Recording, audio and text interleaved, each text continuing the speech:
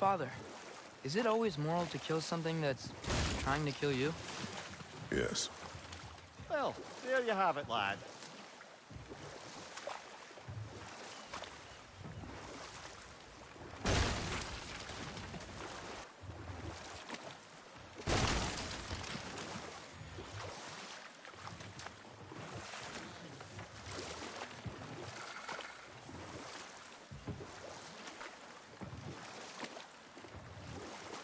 Think that crane still works?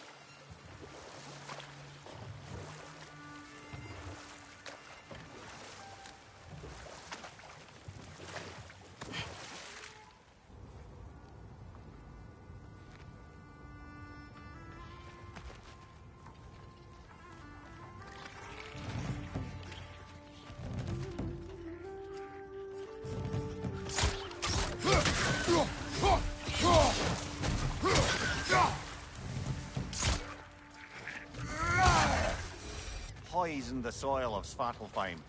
Unable to grow their own food, they had to buy it from Asgard. If they stopped working, they'd be taking food out of their own mouths. Oh, that's clever.